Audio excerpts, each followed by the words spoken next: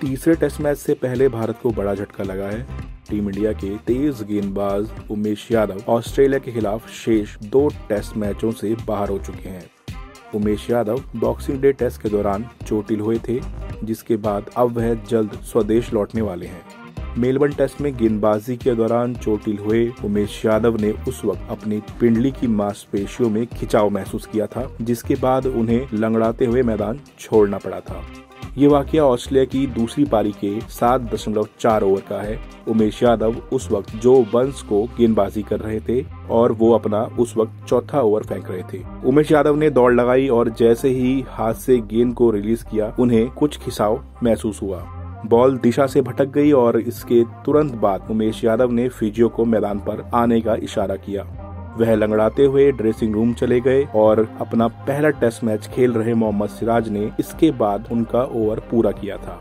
तो भाई, अगर उमेश यादव के अब तक के अंतर्राष्ट्रीय प्रश्न पर नज़र डालते हैं तो इस गेंदबाज ने 48 टेस्ट में तीन दशमलव पाँच छह की इकॉनमी से 148 शिकार किए हैं।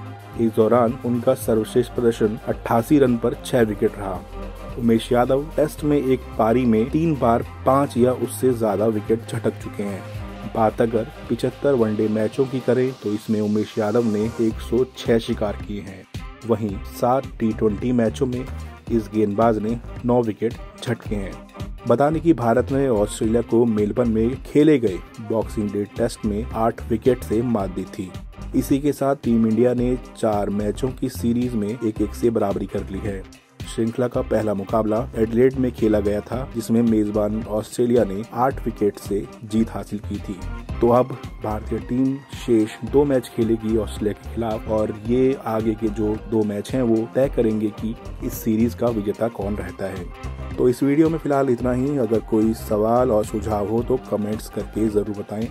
बाकी देश और दुनिया की ताज़ा तरीन खबरों के अपडेट्स के लिए हमारे चैनल लोकमत हिंदी को सब्सक्राइब करना ना भूलें।